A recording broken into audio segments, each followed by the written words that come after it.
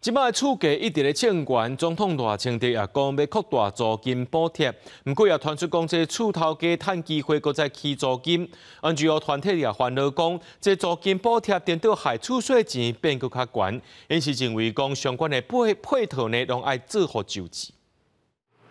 专心拍电脑整理资料。当咧读硕士班的吴先生，就算休热，嘛是留伫正台附近睡厝的所在，准备论文的资料。已经伫即个无甲四平睡厝的所在待要三年啊。因为政府扩大租金的补贴，加上厝头家真照顾学生，每个月四千五的租金补贴了后，一个月厝租无甲一千块。房东也没有觉得怎么样，就租补贴要写，可能契约比较详细嘛，然后觉得他就愿意帮我们再重新写一些更详细的契约，然后可能有些。产权也都弄得比较清楚，这样，所以房东也就没有什么意见，就帮我们补贴。吴先生讲，伊是政策的受惠者，毋过即嘛厝价愈来愈悬，总统大清调扩大租金的补贴，毋过说传出有厝头家趁这个机会要起厝租，NGO 团体嘛烦恼讲，补贴厝租会互市场产生副作用。其实政府现在是都没有办法共管这件事情的，因为租入黑市的关系，政府也不知道说到底哪个地方因此而涨得特别的多，对，所以就很难制定一个比较完善的住宅政策。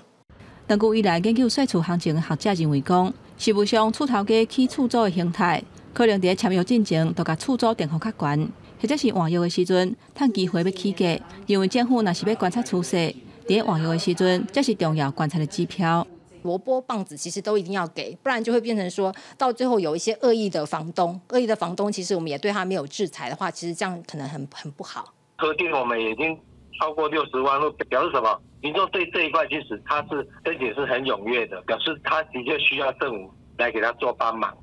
NGO 团体甲学者认为讲，相关的配套应该做回考虑，那无会互政策变质，无法度实践基础正义。毋过面对各方的质疑，内政部讲确定补贴的户数，高达已经申请受理案件的数量超过八十万户，确定跟件数成长超过六十万户，显示租金补贴的政策有降给民众大的负担。